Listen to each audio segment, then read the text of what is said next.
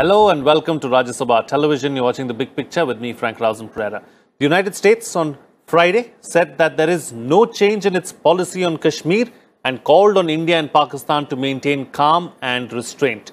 The US policy has been that Kashmir is a bilateral issue between India and Pakistan and it is up to the two countries to decide on the peace and scope of the talks on the issue. The Maldives too on Wednesday showed support for India's decision to repeal Article 370 by highlighting that it considers the move as an internal matter. With the exception of Pakistan and China, major countries in the world have backed the Indian move that aims to integrate Kashmir more closely with the rest of the country. On this edition of The Big Picture, we will analyze the international support for India on the Kashmir issue.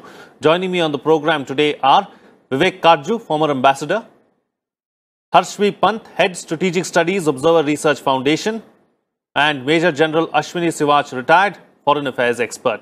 Thank you to all my guests for joining me on this edition of The Big Picture. Ambassador, I'd like to begin the program with you. First, let's talk about the kind of international support that India has received over the last few days, barring, of course, uh, opposition from Pakistan and China. Other major countries are with India as far as abrogation of Article 370 is concerned. I think uh, the major countries in the international community in general, Frank, have uh, held this matter as an internal matter of India. India has asserted incorrectly that uh, under its constitution, Jammu and Kashmir is a constituent part of the Union and it is for India to decide within its constitutional processes how the, the how Jammu and Kashmir will be ordered.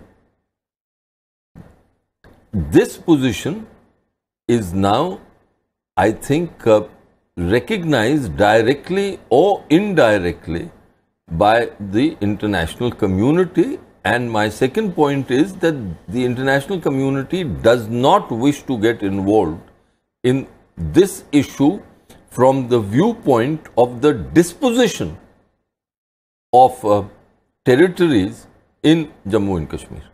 Right, General? Talking about Jammu and Kashmir and talking about the support that India has received, let's talk about the other side of the story as well.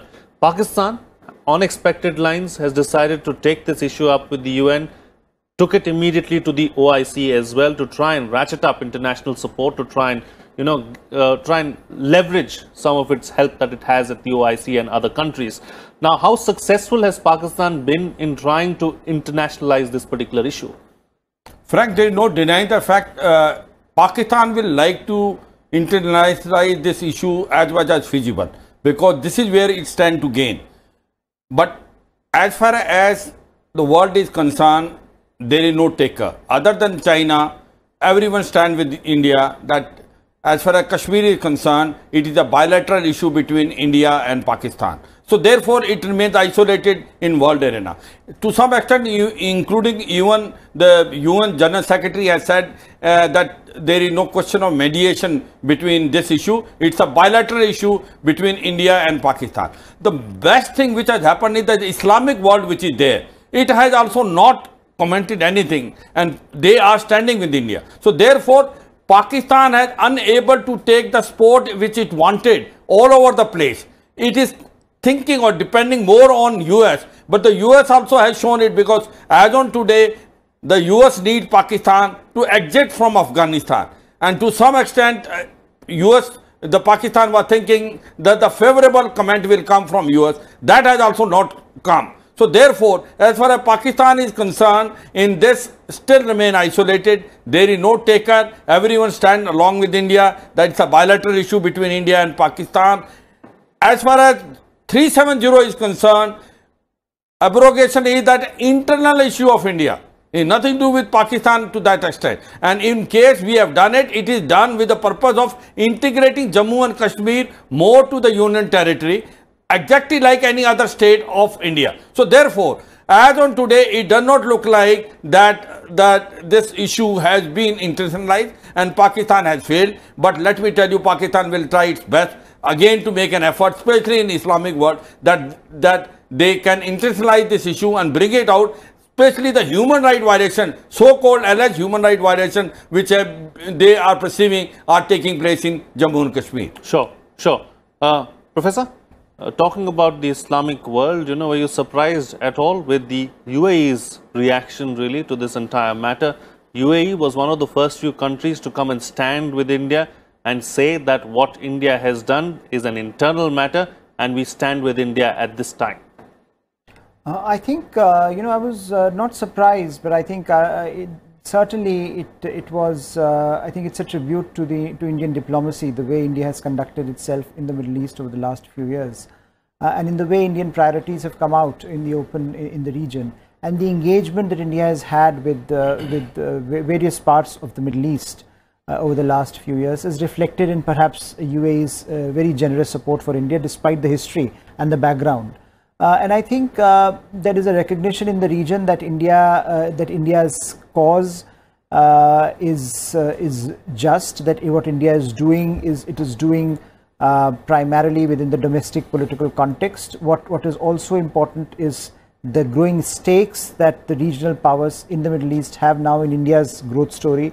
So therefore, they have an interest, you know, also in keeping India in good humor and India has engaged with the region in, in substantive terms. So clearly, that back and forth has helped India in managing the um, you know the limited turbulence that could have ensued if that diplomacy was not in place. So much as we reflect today on uh, how the world has come to uh, you know has favored India's uh, shift uh, on the on Article 370, uh, I think one must acknowledge that there is a lot of hard work that has gone in terms of shaping the world opinion over the last few years as India has diplomatically and economically moved its, uh, uh, you know, its, uh, its diplomacy in directions which have vigorously engaged the various parts of the world and made a case to the world that Pakistan's cause on Kashmir is not only unjust, but it is profoundly undemocratic by its very nature. So if you, if you think of what India is doing, trying to do in, in its part of Kashmir and what Pakistan is doing, so now as Pakistan tries to internationalize it, all of these issues will be out on the table. Hmm. So it can't be, it, it's not a one way street that, you know, Pakistan can claim, let's internationalize it,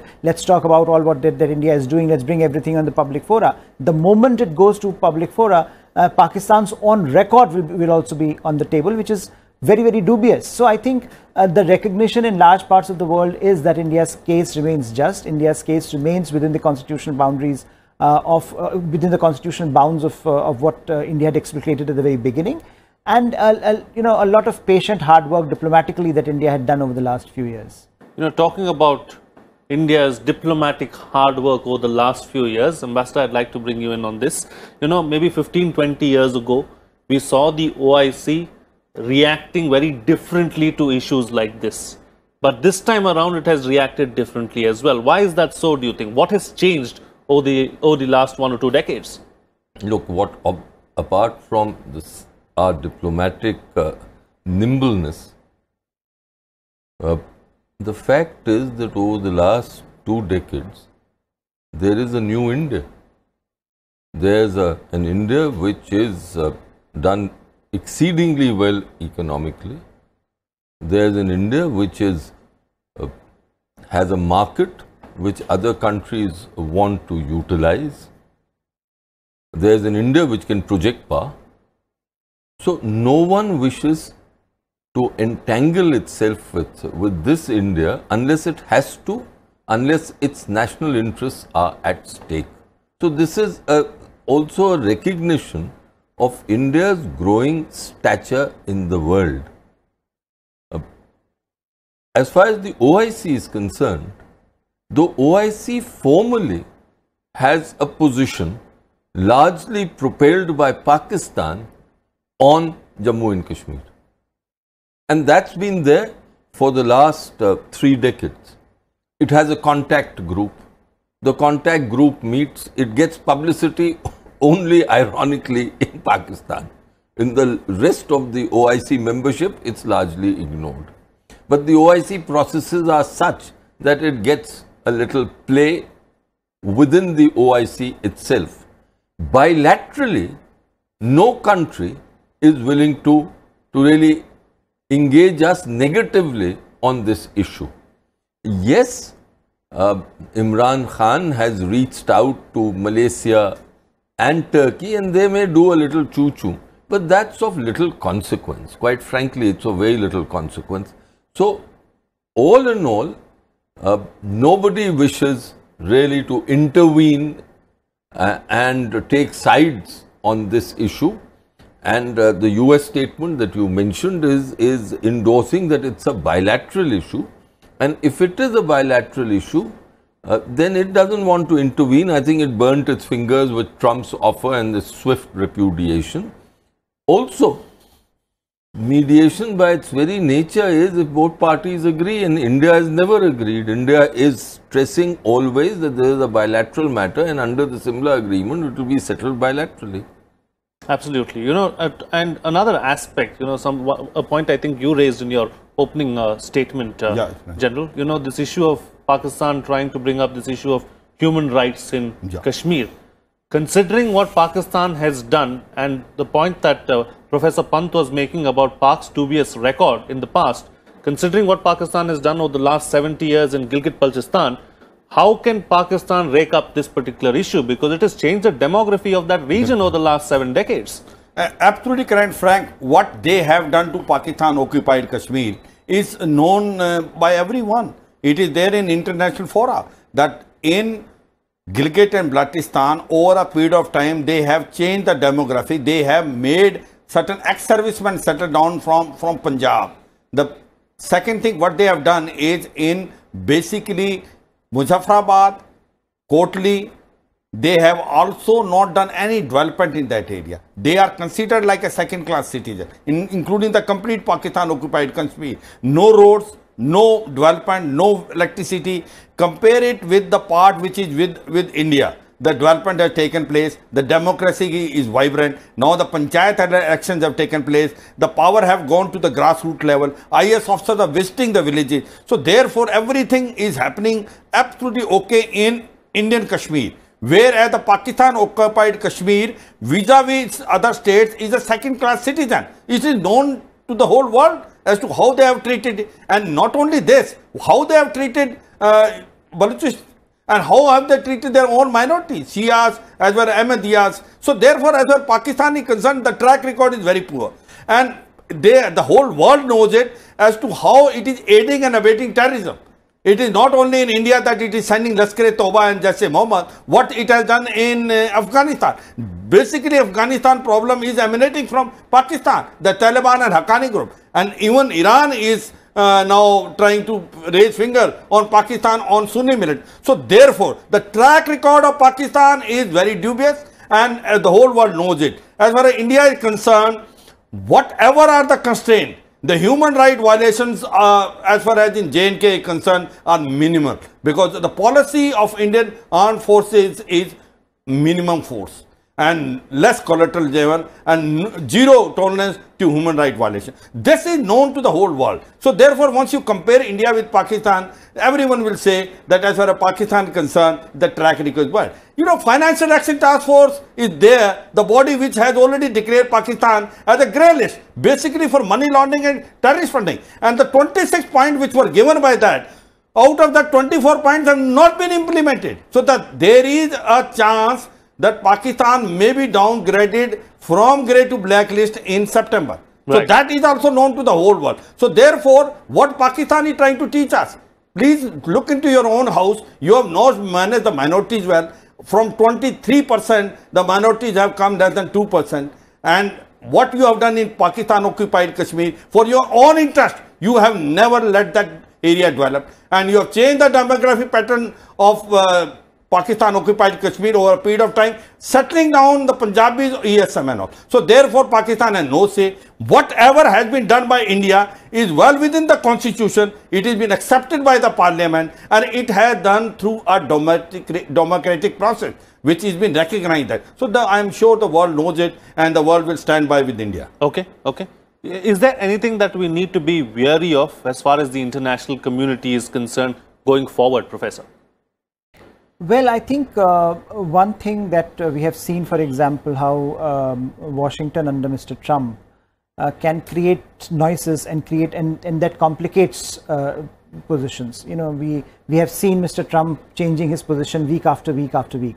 So uh, while the State Department has come out with a statement, we should be wary of the fact that Mr. Trump tomorrow can tweet something on this issue. And while that would not change the ground reality, what it does is, it, does it, uh, you know, what, in some ways, it, you know, it emboldens Pakistan to take certain steps which may be very uh, problematic for the larger regional peace and stability under the false uh, assumption that somehow it, America has its back. Because what we have seen over the last uh, few weeks, in fact, is that America has a very limited interest in Pakistan, and that is how it can get help from uh, Pakistan vis-a-vis Afghanistan. But beyond that, as as the Washington uh, approach uh, to this question uh, in this week has basically made it very clear that they are not interested in getting themselves entangled in the Kashmir issue. They have a very well-defined Kashmir uh, policy, which they will carry forward, uh, irrespective of what is happening in Afghanistan. And I think by now um, Pakistan is realizing the folly of over-interpreting Mr. Trump's statements. the uh, the other, I think, important element might be that uh, you know one will see this attempt to ratchet up pressure. So what Pakistan's, you know, Mr. Imran Khan's speech, if you if you see it carefully, is basically an attempt to make a big hullabaloo around Kashmir. That look, if you don't look uh, at this region, we we have certain, uh, you know, we can do certain things and in fact he you know he was also brandishing the nuclear sword in some ways there was a uh, you know there's a you know there's an element of a, there's an undercurrent of nuclear threat there more pulwama type of attacks exactly. is something so that he's has, spoken you know, about so, so, i think that is something that that they have and they, they may do that because that's something that they would, would want the world to now look at the region because if the world has completely given up on Pakistan now, that's the last card that they, that they would have. And that is something that, again, they've been doing it for so long. And part of the problem is that they've cried wolf for so long that now something, even if something really happens, international community would be very dubious about it. But I think we have to be careful of how they can shape the narrative because uh, they ultimately the whole raison d'etre of the Pakistani army is Kashmir. So clearly they have huge stakes in what they do going forward. Uh, but beyond that, I think what we have seen over the last few years is that certainly Pakistan's policy of the old variety is now giving them diminishing returns. Increasingly, we find that country after country is now looking away from Pakistan. Sure. And that is something that uh, is also, uh, I think, heartening to India, but also might be more, uh, you know, a dampener for Pakistan. And in that sort of uh, spirit where they have nothing to lose, they might also go for the jugular. Okay, they might go for, for some, something misadventurous is, is what you're suggesting. I'll just come to you, General, on that particular aspect of it. But before that, Ambassador, uh, you know, one more thing that I'd like to draw your attention to is the UN Secretary General's statement on Article 370 and Kashmir. It seems a bit confusing. It seems, uh, you, know, you, know, a little out of place. What do you make of his statement? Uh, before I come to that, Frank, permit me this comment that uh, ultimately the international community will see the situation on the ground in uh, uh, Jammu and Kashmir. Uh, and that is, uh, if any discomfiture were to come to us, it will come from that angle. I am confident that we will be able to maintain calm, maintain peace, and restore the normal processes. That healing thing has already begun. Uh, but uh, it's the human rights angle, the so called human rights angle, which will form the basis of a move towards uh, any kind of uh, any kind of negative attention uh, to J&K. Now, as far as your question was concerned, yes, you are right. The Secretary General's uh, uh, statement of yesterday completely misreads the Simla agreement. It mentions the Simla agreement, but it mentions it in terms that, to my mind, are completely unacceptable. And I do think that we should place on record our repudiation of what it says, first of all, about the Simla agreement. Uh, I don't have time to go into details because uh, it's, it's, it's a ridiculous interpretation of the Simla agreement. Uh, but also generally, uh, say that he is on the wrong track and reiterate firmly that the Simla agreement, which is anchored in the bilateral route of resolution of issues relating to J&K and the only real issue is Pakistani territory, is Pakistan occupied territories in Jammu and Kashmir and uh, firmly place this on record. Absolutely. Absolutely. I'm going to go back to a point that uh, Professor Pant was making about, you know, Pakistan trying something out really since its attempts on the international arena are failing to ratchet up some kind of pressure on this particular issue. Is Pakistan going to try some misadventure on the LOC? Is that something that we should be concerned and watchful about, General? Absolutely frank, there is a huge pressure as far as Imran Khan is concerned. There is a public pressure, there is a pressure from opposition that it, he bound to react. Now, three, four things uh, which can be done. Before that, what will happen is the test is how we manage this next three to four months. How do we manage the perception management? We have already won the first round. That we have handled the situation diplomatically well.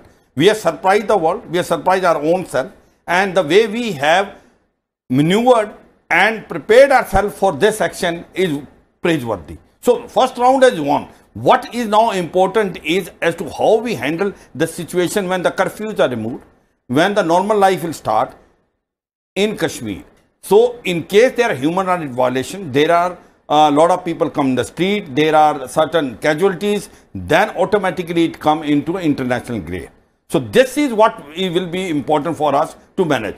To me, it looks like that the way we have handled the situation so far, very maturely, we are prepared ourselves. We have already improved the counter-insurgency grade as well as the law and order grade.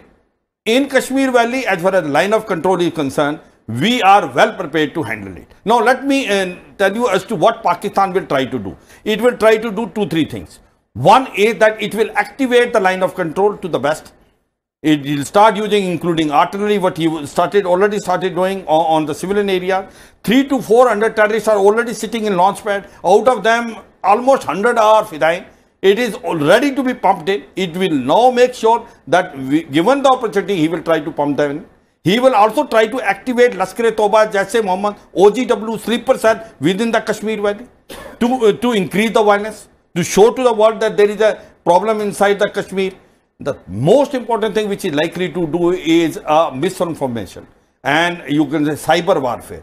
It will now try to create a problem within Kashmir by, by through the social media, send the rumors. This is where we have to be very, very alert and all. In addition to that, what it is likely to do is that uh, the violence level which will increase. Now, my, my point is that we are only focusing ourselves as far as in Kashmir Valley is concerned. There is a little bit, we have to also see in the Kargil area of, of uh, uh, Ladakh. Now, the, there are two areas in, in uh, Ladakh. One is Leh, one is Kargil. The Kargil were initially Shias. But there is a Sunni population which have settled down. They are also not very happy to be made a unit territory. They wanted to remain with the Jammu and Kashmir. So there also there can be a problem. But overall what will happen is how do we manage the environment? How do we manage the situation? If we can bring the normalcy in uh, next about two, three months as the curfew is released, and we counter the Pakistan, which we are already prepared on line of control, also within the Kashmir Valley by improving our counterinsurgency grade and on line of control counter-infiltration grade and handle it maturely, we have won the battle. So the sure. test goes, now next three, four months has to be very critical, very careful. At the same time, perception management of the public. We have to tell to the uh, awam, whatever has been done, ultimately done good for you. Do right. not think that 370 has been abrogated, that you have no protection. This is all protection. In fact, it is only good for you. Investment will come. You know, tourism will increase. Mm, mm. You will able to uh, have more powers and misconception whichever is there in the mind of uh, the people of Kashmir must be slowly and slowly removed and handle two things which I will say that the parties which are mainstream the leaders of that must be handled with political care. They are not anti-national. Whereas Hurriyat leader is concerned, isolate them. They are already under the you know arrest.